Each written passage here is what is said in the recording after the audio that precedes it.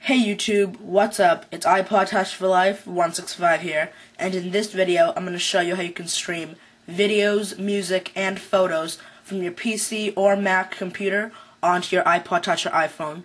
Now this is a great thing to know how to do because uh, usually your iPod Touch or iPhone is limited to its 8, 16, 32, or 64 gigabytes of hard disk.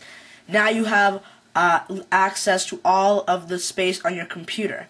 My computer, included with uh, external hard drives, is up to 1.9 terabytes, and I keep a lot of movies on those that I uh, rip from DVDs and sometimes download. So basically, I have all of that access on my iPod Touch or iPhone, and all you need to stream is Wi-Fi. All right. So there is a one-time fee, and the one-time fee is actually just an app purchase. Uh, the name of the app is called Orb Media, and since it's an App Store application, you do not even need to be jailbroken for this. So as you can see, it's $5. We can click on Orb Media and install it. As you can see, I already have it installed right there. But as you can see here, it says Orb Media is a breakthrough application that provides a way to enjoy your media on the iPhone or Touch. Uh, so this is a great uh, streaming application. So you need to install that. Um, again, this is $5, but you can get it for free using cracked IPAs. Don't recommend it but I don't recommend it or discourage it, but do what you want to do. Anyways, bottom line is you need to get this application, uh, like I have right here. And before we can actually open it, we need to do some computer work. Uh, so let's hop onto the computer right now. And then, once we're on our computer, all we need to do is first create a folder that uh, we can name whatever we want. And inside this folder, you want to put all the media that you want to stream. So you can stream, like I said before, videos, photos, and music and they don't even have to be in MP4 format or MP3. As long as they can be played on your computer, they can be uh, used in the streaming. So as you can see here, if I open up the streaming uh, uh, folder, I have one song, MP3 file, Faint, which is by Linkin Park, and then I have two videos, uh, Bullet in the Bible and the That 70s Show E True Hollywood Story. Both are AVI files, so uh, I I like AVIs uh, more than MP4s but MP4 is compatible with the iPod Touch or iPhone, but that, that does not even matter here because uh, as long as they can be played on my computer, they can be streamed. And then I have one photo here, which is the JPEG file, alright? So now once we've got that folder all set with all the media that, that we want to stream, you want to go to the link I have in the video description. This will take you to orb.com, and now we need to download the PC software, or PC or Mac software, that'll let us stream the content to our iPod Touch or iPhone. So uh, from this page, we want to click uh, download. And once we're on the download page, uh, we want to install the one for our country. Uh, I'm going for English, and it's the newest version 2.5. And as you can see here, you can download it for Mac or Windows. This is not compatible with Linux yet, but they say Linux is coming soon. So uh, I am on Windows right now, so all I want to do is click the little Windows sign.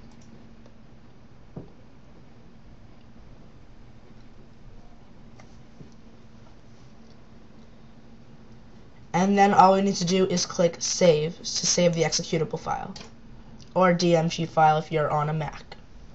And once the uh, setup file is saved all we need to do is double click on it.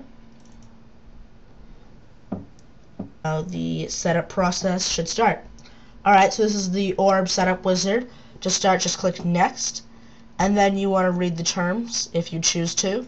Click I agree and then uh, keep the destination folder as it says here. Click install now. And now it's just installing the software. It won't take any time at all.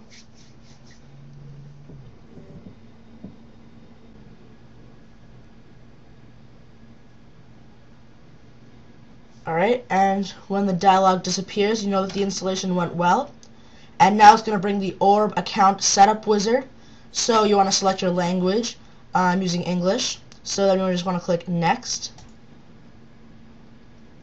And it'll prompt us with another orb account setup wizard.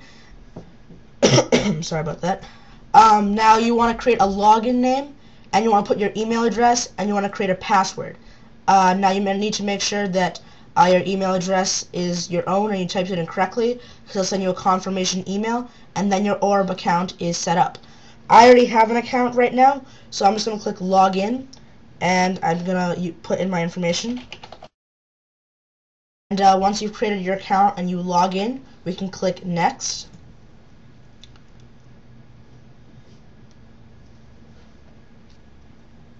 And now it comes up with, uh, by default, some things, some folders that it already shares. We don't want any of this to be shared because uh, we don't have our media in there. So all I want to do is click on it, click the minus sign, click yes, click on it minus sign yes minus yes minus yes etc until there's no more folders in the uh, shared directory. Now once there's nothing here we can click the plus button. And now it asks us to browse for the folder. We're gonna go to our user. We're gonna go to desktop. And we're gonna click on that folder that we put all our media in that I named streaming. Just click on that. Click OK and now we can click next and now it's just indexing what we have inside there so it knows what to share this might take um, a little while not too long depends on how much media you put in that folder I only have four uh, files, so it shouldn't take too long. It might come up with a prompt saying that uh, the internet connection is down, because it really does need a lot of internet for this. So uh, if it does give me that message, all I would have to do is go back and do the process again. But for now, it's just initializing. It might give me that message, but it might not. Alright, so it did not give me the internet connection is down part. But if it did give you that, all you have to do is go back and uh, enter in the directories and click next again. And you might have to do that a couple times before it, it actually does it for you. But I got it on the first try this time. So once it says indexing complete, whether it's on your first, second, third try, we can click next. And now we are done. We uh, it says congratulations. We can click close. And now you're ready to go back onto our iPod Touch or iPhone. Alright, and now we're just going to open up Orb, the application that we already uh, downloaded. And when we first open it, it gives us the steps we need to take um, to set it up.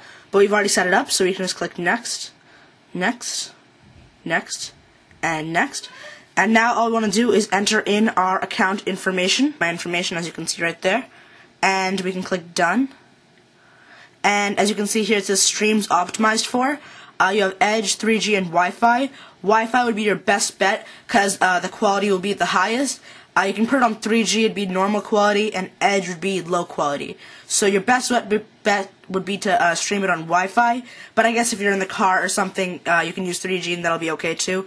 But I definitely don't recommend using Edge because the quality will be really terrible. But I am on Wi-Fi now, so the quality will be very good. So I put it on Wi-Fi, and we want to click Connect. Now it's just going to verify our information and connect. And now we have these tabs down here. Audio, video, photo, document, and settings. I guess you can stream documents too, but that was the main attraction for me for this. So we'll start with audio. Just click on the audio tab. Then you want to click on the button that says folders. And then uh, the name of the folder was streaming, like I showed before. So click on that. And here is the only uh, audio file, so we just got to click on that. And it'll start playing it for us. It just takes a second to buffer it.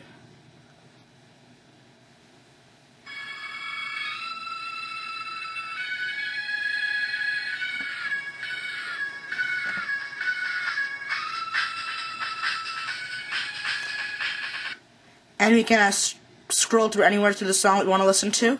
Just click play, and it'll take let's just a couple seconds to buffer it.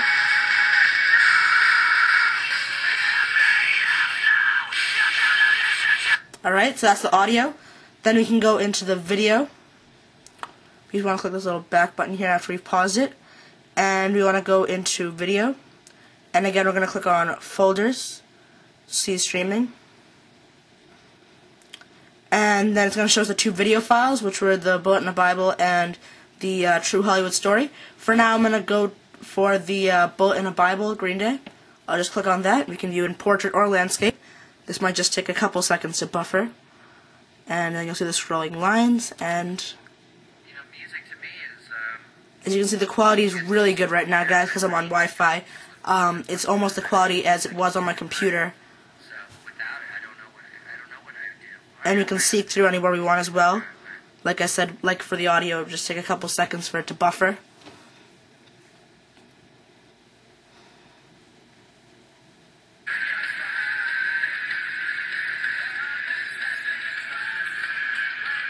Alright guys, And the last one is um, the uh, pictures.